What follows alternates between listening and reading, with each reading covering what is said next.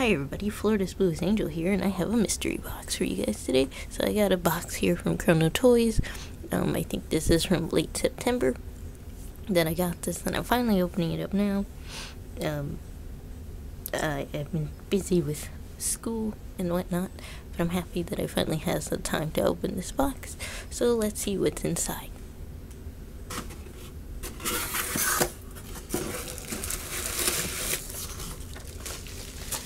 So we got Popeye,